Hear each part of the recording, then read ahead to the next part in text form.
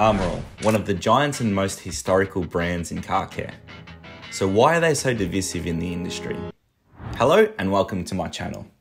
Today we are looking into the brand Armor All as we try to work out why a lot of people refuse to use their products. Growing up, Armor All was always the brand you thought of when someone was talking about cleaning the interior of their car. To be fair, there were only two brands that I knew of for car care. These were Armor All and Turtle Wax. This was growing up in Australia. However, since then, there have been more and more brands popping up now, specialising in car care.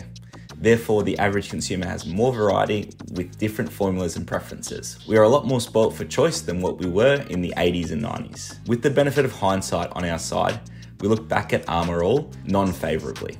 Let's find out why. So, to start my investigation, I needed some anecdotal evidence. So I went to the two most opinionated places I could think of Reddit and Facebook. After filtering out the sarcastic comments, I narrowed down the biggest gripes that people had with Armor All.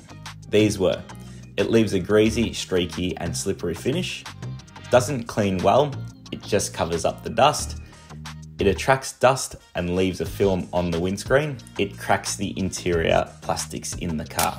First thing I noticed is that Armor All have a complete catalogue of car care, ranging from car wash, waxes, headlight restoration kits, glass, trim, wheels and tyres, and so much more. However, all the complaints were with only one product, their interior cleaner. So let's do a deep dive into Armor All's interior cleaner then. Armor All was founded in 1962 by polymer chemist Joe Palcher.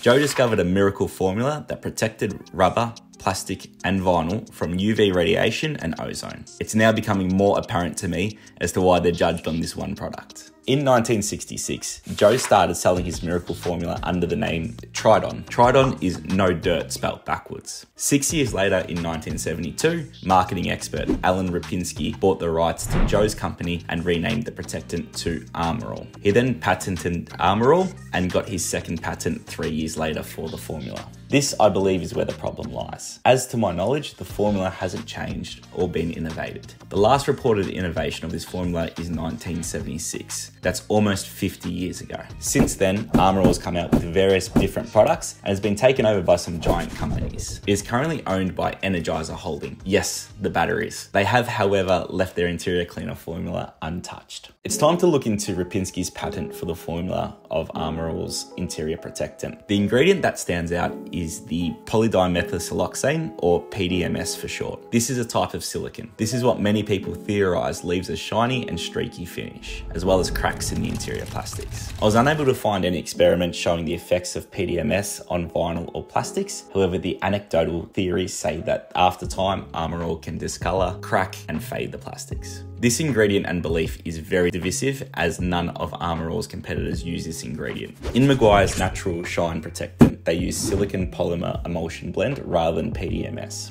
In Australia, we have a brand called Bowden's Own who feature quite heavily on my channel. Bowden's Own have really leaned into the pile-on of Armor All. They proudly advertise 100% silicon free in large letters on their bottle. They also use a silicon polymer emulsion blend. Turtle Wax, however, use an ingredient called octamethylcyclotetrasiloxane, or D4 for short. I think I'm going to call it D4. After a lengthy chat with the scientist, I think I've got my head around the difference. The main difference for the silicon polymer emulsion blend is the tech advantages with the polymers, meaning they have a, strong, a stronger chemical bond, thus harder to crack and reduce susceptibility to environmental damage. As for D4, found in the turtle wax, the component has silicon atoms attached to two oxygen atoms and two methyl groups, whereas PDMS is made up of two oxygen atoms and two alkyl groups. This means the PDMS located in Armor All is more reactive to environmental factors than the D4 in the turtle wax. Both compounds are built differently, where the D4 is stronger than the PDMS.